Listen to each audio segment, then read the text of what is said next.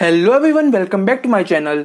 I am Gyaani Coder and in this series of videos I am solving HackerRank Python challenges. So our today's challenge is triangle quest. Here you are given a positive integer n and print the numerical triangle for height n minus 1. Okay, so here 1, 2, 2, 3, 3, 3, 4, 4, 4, 5, 5, 5, 5 and so on. Use no more than two lines. In the first line the first statement is already written for you.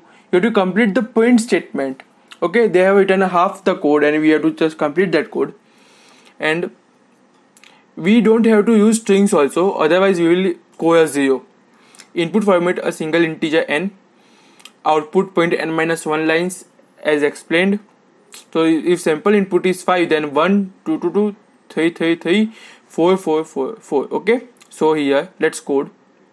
Here uh, we have to just print and there is a formula for that what we are going to do now?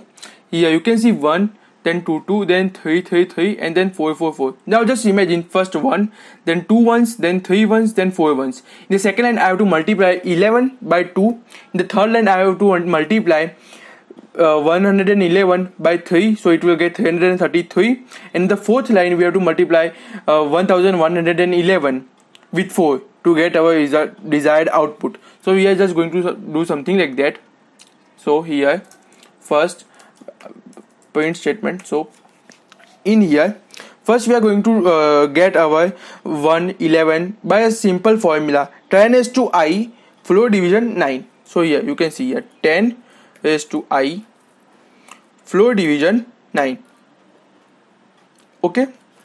I'm just wrapping this. Okay?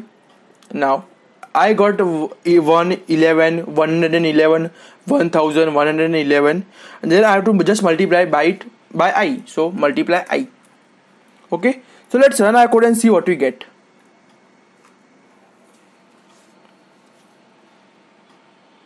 Here a sample test case 0 is successfully run. So let's submit our code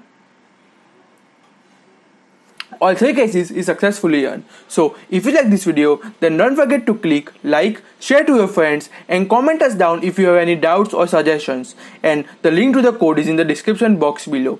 And don't forget to subscribe to my channel and click the bell icon to receive our latest video updates. Thank you.